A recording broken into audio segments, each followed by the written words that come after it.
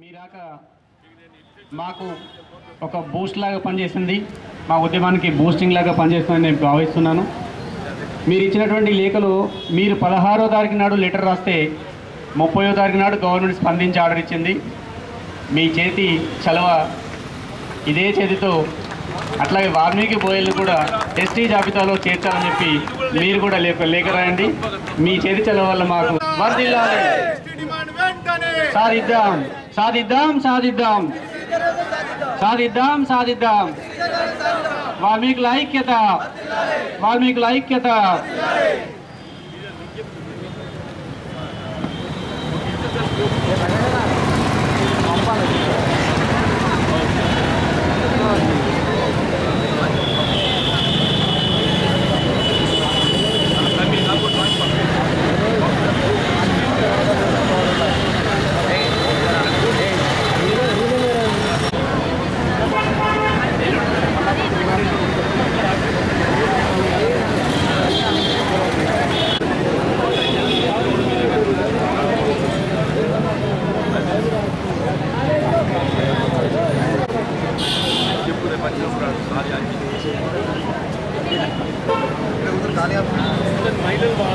లేక వీళ్ళ బీసీ ఏకు మాత్రమే పరిమితం చేయడం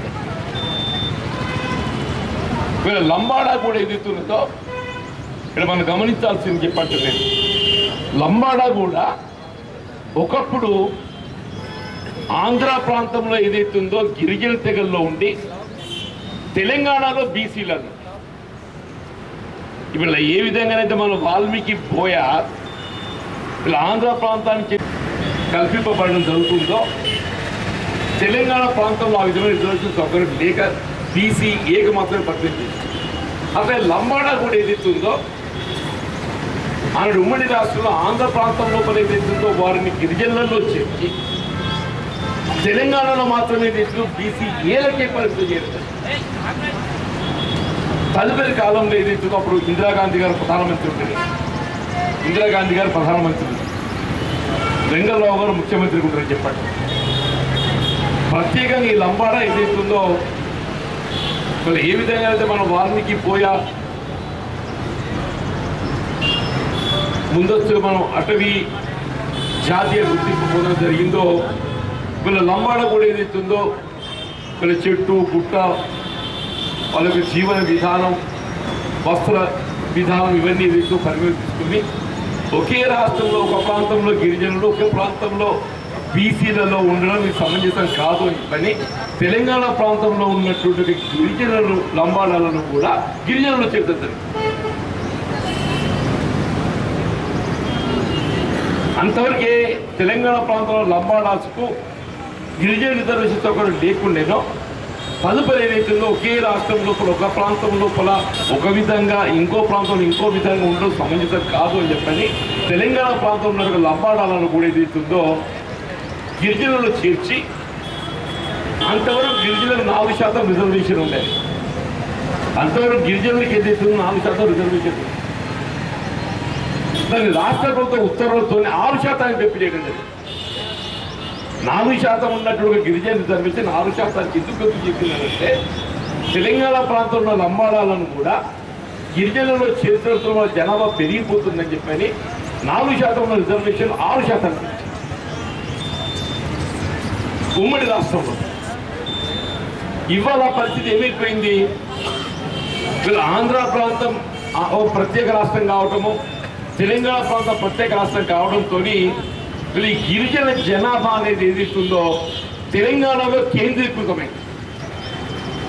తెలంగాణలో కేంద్రీకృతమైంది అంటే ఇక్కడ వాళ్ళ జనాభా రెట్టింపు ఆంధ్ర ప్రాంతంతో ఇక్కడ మనకి ఏదైతుందో మన కరీంనగర్ జిల్లాలో కొద్దిగా తక్కువ కానీ మన కరీంనగర్ మీద మీరు ఇతర ఏ జిల్లాలలో కొన్ని చెప్పంటున్నాను. అది పూర్వపు ఉమ్మడి ఆదిలాబాద్ కానివ్వండి వరంగల్ కానివ్వండి నల్గొండ కానివ్వండి మహబూబ్నగర్ కానివ్వండి నిజామాబాద్ కానివ్వండి మెదక్ కానివ్వండి ఏ జిల్లా పోయినా కానీ మీకు గిరిజన లంబాడ ఆదివాసీలు ఏదైతుందో అత్యధిక స్థాయిలో ఉన్నారు వాళ్ళ జనాభా నైన్ పాయింట్ ఫోర్ శాతం మీద ఉంటే తొమ్మిది పాయింట్ నాలుగు శాతం. దీనితో పాటుగా ఉద్యమ సమయంలో ఉద్యమ సమయం. ఇప్పుడు కేసీఆర్ గారు అన్నట్టు ఒక ఉద్యమ నాయకుడికి ఏదైతుందో వారే కానీ వారితో పాటుగా రాజకీయాలకు అతీతంగా ఇతర రాజకీయ పార్టీలు అందరం కూడా చెప్పంటుంది ఇవాళ అంతవరకు ఏదైతుందో నేను చర్చలో పాల్గొని నేను సూచన చేస్తాను ఇలా మనం ఏదైతుందో ఇలా రాజ్యాంగ పరంగా దళితులు ఎస్సీఏ కానీ ఎస్టీఏ కానీ వాళ్ళ జనాభాకు అనుగుణంగా మాత్రమే మనం రిజర్వేషన్ సౌకర్యం కల్పించే అవకాశం. గిరిజన రిజర్వేషన్ అనేది ఏదైతుందో పది శాతానికి లోబడి ఉండగా మనం పన్నెండు శాతం కల్పించడం అనేది అది సాధ్యమైపోయింది కాదు.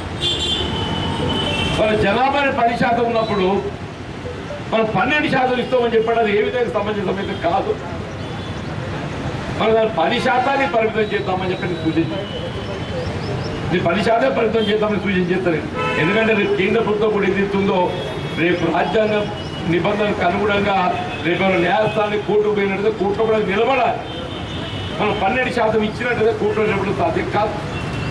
వాళ్ళ జనాభా ఏదైతే పది శాతం లోబడి ఉన్నది కాబట్టి మనం పది శాతానికి పరిమితం కావాలని చెప్పి అప్పుడు కేసీఆర్ గారు ఏమన్నారంటే మీరు మన వాస్తవం.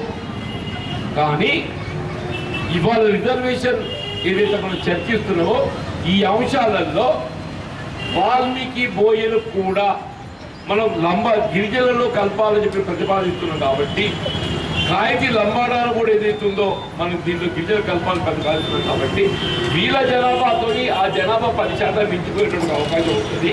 కాబట్టి మనం పన్నెండు శాతం ప్రతిపాదించొచ్చని చెప్పి కేసీఆర్ ప్రతిపాదించడానికి ఏదైతుందో మేము వాల్మీకి బోయలు కూడా ఏదైతుందో మనం గిరిజనులలో చేర్చే విధంగా ప్రతిపాదిస్తున్నాం కాబట్టి పన్నెండు ఉంచవచ్చు అని చెప్పి ఆయన చెప్పినట్టు నేను అంటాను ఈ ఈ అంశం చోటు చేస్తుందని చెప్పి అంటున్నాడు మీకు ఇప్పుడు అసెంబ్లీ రికార్డులు ఎదురని చెప్పి అంటుంది సరే ఆ వివాదాలు పోకుంటే తెచ్చుందో ఈ గిరిజన రిజర్వేషన్ పెంపు కానీ వాల్మీకి పోయేను రాయితీ లంబాడాలు కూడా గిరిజనులు చేర్చే విధంగా ఏదైతుందో సభ ఏకగ్రీవం తీర్మానం అప్పుడు భారతీయ జనతా పార్టీ ఏదైతుందో ఈ వాల్మీకి బోయను గిరిజనుల్లో చేర్చడానికి వాళ్ళు ఆమోదం చేస్తారు వాళ్ళు వాళ్ళు సుముఖంగా ఉండరు చెప్పండి నేను నేను ఉన్నమాట చెప్పాలి. కానీ వాళ్ళు ఏదైతుందో ముస్లిం రిజర్వేషన్ ఏదైతున్నదో వాళ్ళు భిన్నాభిప్రాయం వ్యక్తం భారతీయ జనతా పార్టీ ఏదైతుందో ముస్లిం రిజర్వేషన్ భిన్నాభిప్రాయం వ్యక్తం ఈ వాల్మీకి భోజనం ఏదైతుందో గిరిజనులలో కలపడానికి కానీ గిరిజన రిజర్వేషన్ ఆరు నుండి పది పెంచడానికి కొరకు కానీ భారతీయ జనతా పార్టీ కూడా దీని మద్దతు తెలిపినట్టు సభలో ఉన్నటువంటి రాజకీయ పార్టీలు అన్ని కూడా మద్దతు తెలిపి ఏకజీవులు తీర్మానం పాటిస్తాం పాపం కానీ తదుపరి ప్రభుత్వాన్ని నివేదించడం లోపల మీరు అందరూ తెలియకున్నదో కేవలం రిజర్వేషన్ పెంపు మాత్రమే పరిమితమై ఈ వాల్మీకి భోజనం ఏదైతుందో గిరిజనలో చేర్చే అంశాన్ని మరి అందులోకి తొలగించడం అనేది నేను రియలీ గ్రేవ్ ఇర్రెగ్యులారిటీ మీరు శాసనం తీర్మానాన్ని కూడా తీసుకోండి మీరు ప్రభుత్వానికి కేంద్ర ప్రభుత్వం నివేదించి తీసుకుంటామని చెప్పి అంటుంది కదా శాసన తీర్మానం కూడా తీసుకోండి అంటుంది రెండు ఉంటాయి. శాసనసభ తీర్మానానికి కానీ అనుగుణంగా అనుగుణంగా మాత్రమే వాళ్ళు పంపాలి. శాసనసభ తీర్మానాన్ని ఏదైతే ఉందో దాని మార్పులు చేర్పులు చేసి పంపడానికి వీల్లేదు అట్లా వేస్తే ఇంత పొరపాటు రాష్ట్ర ప్రభుత్వం ఏదైతే ఉందో తన మనలో వివక్షింపు చేసినట్టు భావిస్తారు చెప్పండి సరే ఏదైనా కానీ వల్ల ఈ గిరిజన పెంపు సంబంధించి కూడా రాష్ట్ర స్థాయిలో అమలు చేయబడేటువంటి రిజర్వేషన్కు కేంద్రానికి సంబంధం లేదు. నేను మొదటికెళ్ళి వాదన చేస్తున్నాను. నేను ఒక న్యాయవాది కూడా నాకు అనుభవం ఉన్నది. రాజ్యాంగం పట్ల నాకు అనుభవం ఉన్నది. అలాంటి సభలు కూడా చర్చించాను నేను మనం అమలు చేయబోయే రిజర్వేషన్ కేవలం రాష్ట్రానికే పరిమితం కాబట్టి కేంద్రం యొక్క అనుమతి అవసరం లేదు. అంటే ఇది మళ్ళీ మన ఇది కూడా చిక్కు వస్తుంది మీకు ఇది చెప్తున్నాను మీరు ఇది ఎస్సీలలో ఎస్టీలలో కలపడానికి ఏదైతుందో ఉందో కేంద్ర ప్రభుత్వం ఉండకపోవడం నేను అమలు దాన్ని నేను మిమ్మల్ని మిస్గైడ్ చేయకూడదు. వాళ్ళు ఆల్రెడీ గిరిజనులలో కలిపినటువంటి వాళ్ళకు పెంపు చేయడానికి ఏదైతుందో కేంద్ర ప్రభుత్వం అనుమతి అవసరం లేదు. కానీ కొత్తగా ఏ తెగలను ఏదైతుందో దళితులలో ఎస్సీలలో కానీ ఎస్టీలలో కానీ కలపాలని అంటే తప్పకుండా కేంద్ర ప్రభుత్వం యొక్క అనుమతి అవసరమో అని కానీ ఇక్కడ గమనించాల్సింది భారతీయ జనతా పార్టీ సభలో మనకు అనుకూలంగా మద్దతు తెలిపింది కాబట్టి కేంద్ర ప్రభుత్వం మనకు ఏ విధమైన అభ్యంతరాలు ఆటంకం ఏర్పరుస్తుందని చెప్పి నేను భావించాలని చెప్పండి. కావాల్సిందల్లా రాష్ట్ర ప్రభుత్వంకి వెళ్ళేది నివేదిక కేంద్ర ప్రభుత్వానికి పోవాలి. రాష్ట్ర ప్రభుత్వంకి వెళ్ళి కేంద్ర నివేదిక పోవాలి. అప్పుడు కేంద్ర ప్రభుత్వం ఏదైతే ఈ మధ్య కాలంలో కొన్ని తెగలను ఎస్సీలను కలిపిందని చెప్పి నేను భావిస్తున్నామో దీన్ని కూడా కలిపే విధాన్ని నిర్ణయం తీసుకున్నటువంటి అవకాశం ఉంది.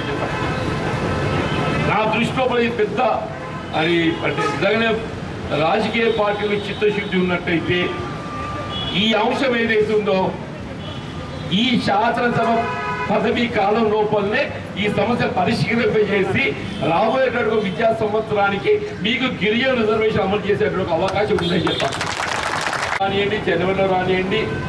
ఈ మధ్యకాలంలో మన సమావేశం జరుగుతుంది తప్పకుండా. అది ఎప్పుడు జరిగినా కానీ ఈ అంశాన్ని సభలో లేవు.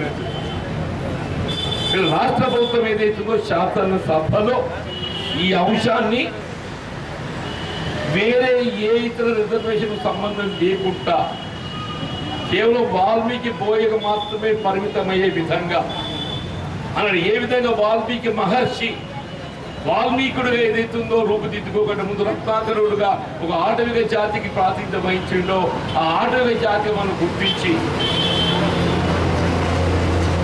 మమ్మల్ని ఏదైతుందో వీళ్ళు బీసీ హోదా నుండి గిరిజనులలో చేర్చే విధంగా మీరు ఏ వాగ్దానం ఇచ్చినో తెలంగాణ రాష్ట్ర ఏర్పాటు ఉద్యోగంలో ఆ విధంగా మాకు సహకరించండి అని చెప్పని ఆ తీర్మానం పాస్ మనం జనవరి ఫిబ్రవరి లోపల ఏదైతుందో ఇక్కడ వీళ్ళు తీర్మానం చేసి పంపిస్తే మన కేంద్రంలో ఏదైతుందో పార్లమెంట్లో మనకి బిల్లుడు ఇది అమలు పొందడానికి మనకు అవకాశం ఉంటుంది. మన మీకు అమిత్ షా గారు మీకు చేసిన వాగ్దానం అనుకోండి. కాదు మధ్యలో మీరు మన కిషన్ రెడ్డి గారిని కలిసి వారిని వారి యొక్క సహకారం పొందడమే కానీ ఏ విధంగా కానివ్వండి. కేంద్రం లోపల ఏదైతుందో దీన్ని మనం గిరిజనులు కలిపే విధంగా ఏదైతుందో మనం ఉత్తర్వులు పొందేటువంటి అవకాశం ఉంటుంది. మనం రేపు రాబోయేటువంటి విద్యా సంవత్సరానికి వెళ్ళి మన ఉద్యోగ నియామకాలు అన్నింటిలో కూడా తప్పకుండా గిరిజన హోదా మీకు లభిస్తుంది. నాకు ఆ విశ్వాసం ఉన్నది.